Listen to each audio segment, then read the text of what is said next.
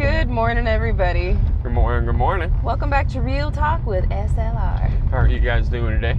Well, guys, I am doing absolutely fantastic today. How about you, baby? I'm doing pretty good, pretty good. Yeah. I'm pretty excited and stoked about uh, today. Me too. Are you guys excited back there? Yeah. Yeah. We're going on an adventure. Yeah. We're linking up with uh, DD5 and their kids. We're going to go out to the lake today. Know, It's actually really overcasty right now, um, and it rained super good this morning. But this afternoon, we've got like extreme heat advisory and all that. yeah. Yeah. So it's gonna be a it's gonna be a nice time out at the lake and Yeah. be able to uh, go swimming and jump off of the cliffs over there and uh, Yeah. just have a good old time. Good times had by all. Swing you guys back around. The bumps are moving it around. We've actually, um, full disclosure, we started um, trying to record earlier when we first got on the road. But man, our stupid windshield holder phone thingy kept popping off everywhere. Yep. And I was like, this ain't working, let's start over. So, good morning times two. Yes. yes. but today is going to be a wonderful day. Um, I'm really looking forward to it. Did you bring, now you didn't pack up any of your fishing contraptions, did you, baby? No, I did not. I did not pack up any of them whatsoever, and it's because one, I got skunked the last time I was over there, and I got skunked the last time I went fishing too, which would have been mm, like I'm gonna catch a fish, but this is the last hurrah as a family, you know, and I want to spend it with the kids and go swimming and enjoy the time with everybody. And I didn't go swimming last time. I was Yeah. trying to fish. Last And- time we were out there, you just were on the shore the whole time. I mean, you did go swimming for like, a little bit to cool off, you know. yeah, but you really weren't swimming with everybody. You were No. really just off on your own, doing your own trying thing. to trying to catch a big one. Yeah, he was but- going after the big one. It didn't happen. Didn't happen at all. So well, you know what? You're bound for a good catch. Like, because you've been skunked, right? It's like, Mhm. it's due. it's due exactly. It's due. So now I'm just I'll just let it keep on festering. One of these uh, days, the fishing gods will uh, allow me to catch the big one. yeah, yeah. You'll get it.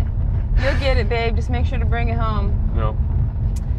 So last night we did a real talk pretty late. Um, we had a really busy day yesterday, which you guys can currently see on uh, Simple Life Reclaimed because I got that video edited and uploaded and live for your viewing pleasure. See? What did I tell you? What did I tell you? The stinking windshield. But I got it up, guys. It's up on our channel. Um, you guys can see our very busy day. Now we're getting onto a paved road, so it shouldn't be too bumpy now. There we go. All right, is it gonna work? Is it gonna work? oh man. that is now the third time that thing has fallen off. Man, Well, let it roll. yeah, let it roll. It's roll. We're rolling with it. Oh man. Uh, but yeah, I did stay up late last night and I edited and I got the video all put together. It's up on Simple Life Reclaimed so you guys can see uh, what we got into yesterday, which is also why we didn't do a real talk right away. We did one, a barbecue edition. Gary was working that grill. man, those uh, pork chops came out really good, man. Super good. And I, I do have to say my mac and cheese was pretty bomb too. Mm-hmm. Yeah. Mac and cheese is bomb. But no, those steaks, the, uh, the pork steaks were really, really, really good. Yeah. You did a great job, honey. The butter made it. The butter Yeah. on there gave it that extra oomph that I it find needed. I find that every time I cook pork chops on the grill, they always end up drying up. So Well, there's different ways you can do it too. Like, um, you know, you There can is. put like water inside the grill to help main like a cup of water like on the grill with it when you close it. no. Um, there's But- different things that you can do, right? But I think it's just the pork meat. It's one of those Yeah. one of those things with pork. But however, I do know that if I marinated it, if I marinated it for like 48 hours, having all those juices and everything inside of it, Yeah. I think it would have. I don't think it would be uh, that crazy because I do that with the pork tenderloin, mm-hmm. and that works. But Yeah. I don't know. I thought it was good. I thought it was a great dinner. it came out great. Yeah, I love the fact that you have your grill because Um, on editing nights and stuff like that, um, Gary will help me out with the cooking, or I'll put something in the Instapot, just depending on what we have inside the house, right? Yeah. And what we've eaten lately. Yeah. um, All depends on what everybody's in the mood for. yes. And a lot of times it's uh, tacos, uh, spaghetti, Pizza and pizza. Yeah. on my editing nights, or hamburgers. or hamburgers. Yeah. It tends to be the uh, the census. Or I'll throw something in the Instapot, like you know, roast or. Well, that's a um, that that has to be done on a Sunday. Like for Gary. for me, I I love having that roast on Sundays. It starts the week off really good. You got that good, uh, I don't know, all the juices and all the fats and all the the hearty food with the potatoes and everything. Yeah. I ain't gonna lie, that's almost a deal breaker in our marriage. like Gary's like, I don't have very many demands, but one thing I do demand is, woman, on a Sunday, I want my roast. Yep. I do like it. I think it. it's I funny. know. I think it's funny. It's easy to please. Easy to please. Hey, It's not hard at all to make this guy happy, which I appreciate. I like. I don't know. I take it from my my side of the family. Yeah. My mom used the same thing. It was always every Sunday a roast. I will say, um, with the prices going up for everything everywhere, It makes it I a little rougher, yes. It does, and instead of being like having this giant roast with all these leftovers that we could snack on the next day, I've been taking the big roasts and I've been cutting them in half, and then we get two weeks of dinners out of it. So I'm Correct. only buying two roasts a month instead of four Yeah. to save some money and stuff, right? Because they're like 50 bucks now, dude. It's crazy. yeah. Well, we're all, we're getting the pork roasts too, If you, which no, are the about- cheaper. I'm talking about for the beef ones. Those No, I know like the beef ones better. are 50, I know. but like the pork roasts, they're normally like 25. well, right, 23 right, right now, now. they're like 35. Well, but still, still, either way, they they've gone up compared They've to what up. they used to be. I remember you used to be able to pick them up for ten dollars. So. Man, we used to be able to grab them for like seven, eight bucks. I know. Remember? It'd be this big old thing, and then we'd have meat for the rest of the week, like sandwich Yeah. meats and whatnot. You remember when me and you first started dating, and um, Fresh and Easy in Las Vegas was a very big popular thing. Yes, I think Fresh and Easy is out of out of uh, business now. I'm pretty positive, which is sad. It is sad. Fresh and Easy was a um, so Fresh and Easy was a um, pretty much everything that they sold in there. It was kind of like a Whole Foods type Yeah. of store. Um, so it was all really good quality food in there. Um, but Fresh the food. oh, there we go again, man. This time the phone came out too. Sorry, sorry guys. Today's just one of those days with this stupid phone carrier thing on my car. ah, it's aggravating, but it is what it is.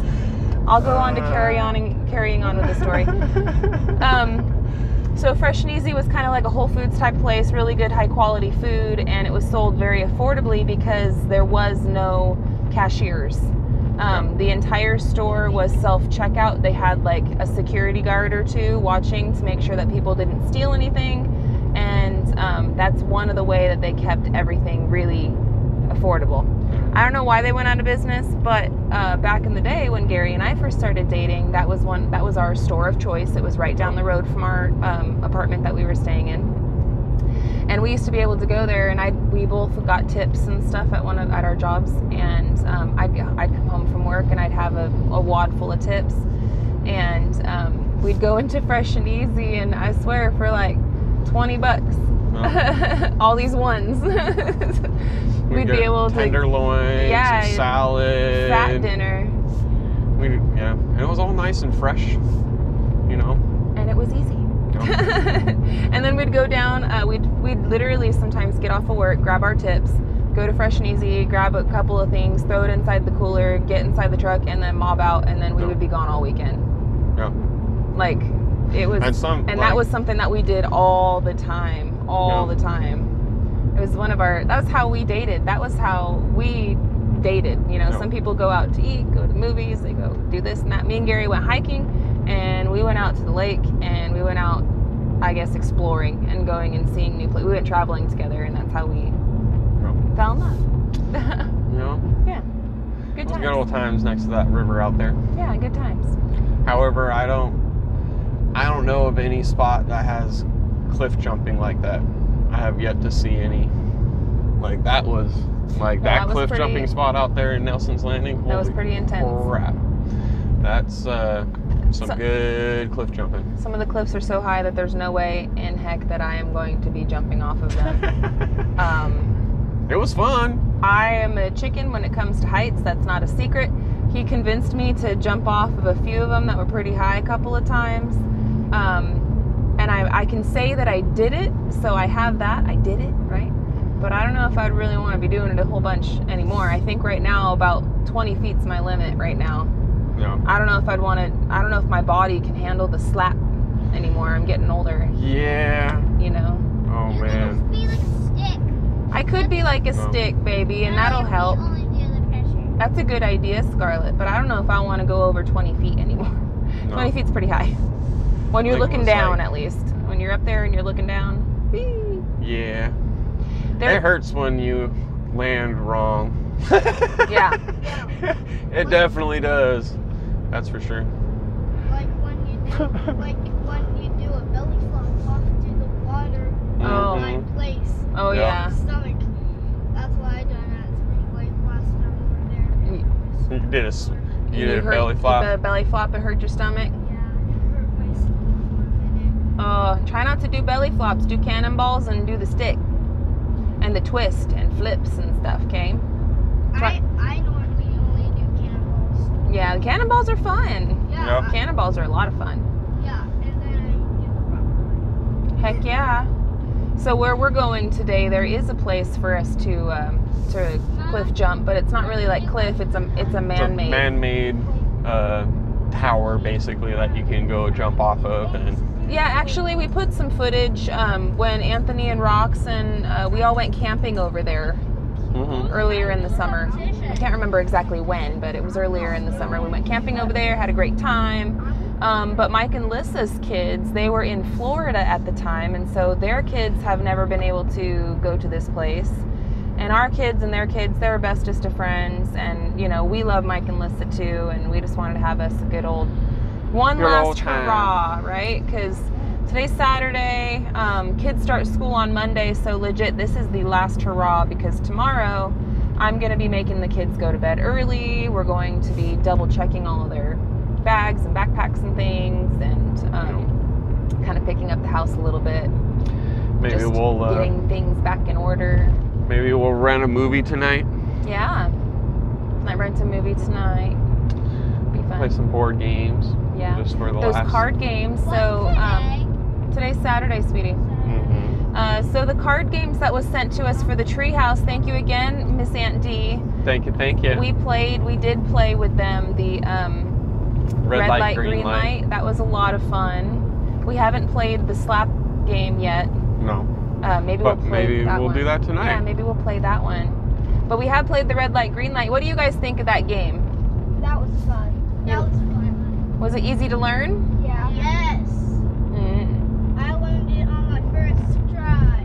Yep, they learned it on the first try. It wasn't too hard. It was a lot of fun. You just kind of go in sequential order. It sort of reminds us of um, Una, Uno in a way, Yeah. but um, not at the same time. I don't know. It was good fun. It was good fun. Uh, but yeah, tonight is is gonna be their last night of staying up late and watching movies and hurrahing around because tomorrow is a school night. I can't believe we're saying it. Mhm. Tomorrow's a school night. No. Man, oh man. Yeah, tomorrow's school night. Yep. The next day is So, school's going to be starting. Um, Gary and I are going to be hoofing it back to reality, back to uh, to getting it. We do have loose ends that we want to tie up before we start changing our focus and attention towards um, the cabin. Yep. Obviously, we did have some things we wanted to uh, finish by the end of summer, but honestly, it's okay that we didn't finish those things. Um, one, heat. Two, Yep. spending time with the children. Um, and three, honestly, I just, there were some times where I just wasn't feeling super good. And I don't want to sit here and cry to you guys every time that I don't feel well, because then you guys are going to be like, wow, wow, feel good. but there were some times I just wasn't feeling good. And, um, it just wasn't uh, the right timing. So maybe now that um, the kids are going to go back to school, we're going to start, you know, with our schedules and stuff again. I know that Gary and I are going to be able to um, to regain our focus as far as you know checking off some more of these goals. But I wouldn't trade this summer for anything. I'm happy that we No. took the time that we did. Um, the stuff This- is still there to get done. We're gonna get it done. This summer has uh, been one heck of a summer. One heck of a summer, It's been great. if not the uh, the absolute best. Yeah. I think it's a- actually has been the absolute best. yeah. We've But we are gonna stop by. Yes, honey, we will. Okay, we will. I know, sweetheart. We're almost there. Yeah, we're, You know. we're already So, um, we're gonna have us a very, very good day today, hanging out with the Fram Bam. I know that uh, this week is going to be a, a good, productive week. We're gonna help out, um, come home. know, We're gonna do a lot of stuff around our place and get ourselves back in order. I don't know, maybe if the weather holds out, we might just finish off the Pecker Palace this week too. know. That'd be nice if we could get that off of our list. Well, I want to get that done, and I want to try to uh, integrate the other chickens too. Yeah, so, so feathers and everything else too. So the baby chicks that are right next to the rabbits they're we only have them right next to the rabbits because we don't really have any other place to put them but we don't want them there forever that's not No. supposed to be a chicken hutch no, it's supposed to be a rabbit hutch for when we breed the rabbits but gary got excited and saw a bunch of chickens and came home with a bunch of chickens one day and i don't blame him i'm happy he did yeah, I'm filling the void. All right. yeah yeah no you're like hey there's there's a house here we could put something in this house I've always said, hey, there needs to be structure. Yeah. I'm not buying it without the structure yeah and trying to scramble. yeah So well we still kind of ended up doing that a we little bit still ended up doing it a little bit. It always ends up happening though. a little bit. That's why I always say I don't want to do it. Yeah, well. always ends up happening though. That's life. But But, yeah, it is what it is. yeah, we're gonna try to wrap up maybe Pecker Palace and then um, spend a good amount of solid, undistracted attention towards the kids' playhouse and finish that one off. And then after those two things, I think we're gonna be about ready for us to start working on the decking and whatnot. Mm-hmm. We're right there. Yeah, we're we're getting there. I'm uh, I'm looking forward to that. I'm uh, gonna do some more research on the uh, the planking and everything else. Yeah, I'm looking forward to it too. Not be having rain constantly. As soon as you open the basement door, you you know. Yeah, I mean, eventually, once we, I mean, we're gonna have a roof over the patios and everything else, but we'll still get that sideways wind, uh, rain. You know what I mean? Yeah. So it would be a beneficial aspect if we can make it to where it's completely waterproof underneath there. It would be nice, but Yeah. we'll see what we can do. We'll, we're just gonna do our best as we always do. We'll see what happens. Yeah. Just try and go for it. Learn as we go. hmm Figure it out. but we're pulling into the store right now. We got to grab some ice um, real quick so that way we can meet up with uh, Mike and Lissa. Yep. So we're gonna go in here, do the darn thing, let the kids go to the restroom, and we are going to thoroughly enjoy today. I hope that you guys do too. If today is the last day of your kids' summer vacation, I hope that you guys do something fun. Um, if not, if your kids are all grown up, well, I hope that you guys uh, enjoy reminiscing, listening about our stories and stuff and what we got going on.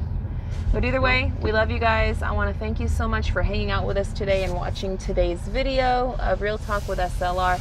We'll be back with another episode here shortly, um, probably tomorrow.